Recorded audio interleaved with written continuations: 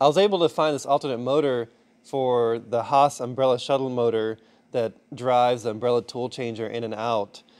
And the OEM Haas motor costs about $665 as of 2022.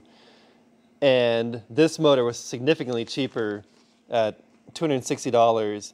And it's advertised as a drop in replacement that has the same specs and whole bolt pattern and everything. The shuttle motor arm fits on here perfectly also with the keyway. No problems with that fit there. It's a perfect fit. One thing though is that it just comes with bare wires, so we're gonna have to find a suitable connector to connect it into the wiring harness. This is the assembly of the umbrella shuttle motor. The shuttle motor arm has the clutch plate built in. This is the plate that triggers the non-contact switches, such as the machine knows if the tool changer is in the in or out positions. The way this is assembled is there's a nut with a lock washer here. Then we have that plate. Then behind that is a wide bearing.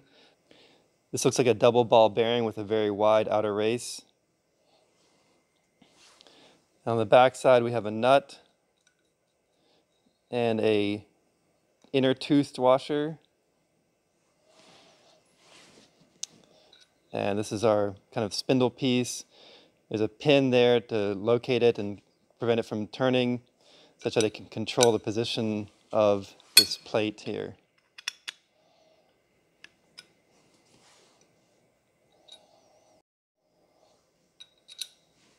Put it back together.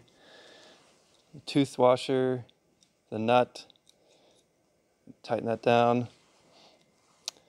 Put this ball bearing on.